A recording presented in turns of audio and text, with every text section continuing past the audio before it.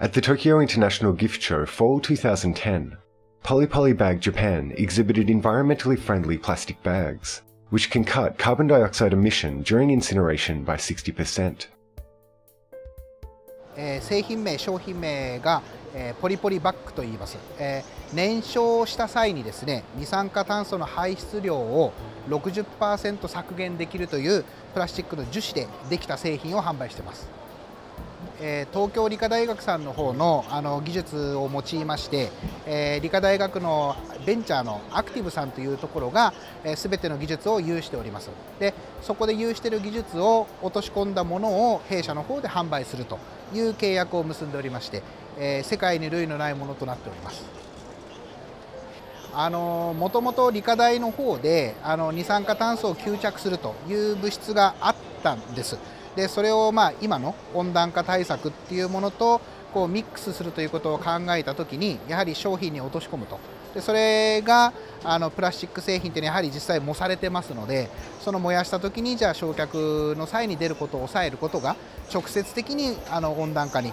の対策につながる製品に結びつくというところにビジネスチャンスを見出してでそれを製品化して販売するというところに至りました。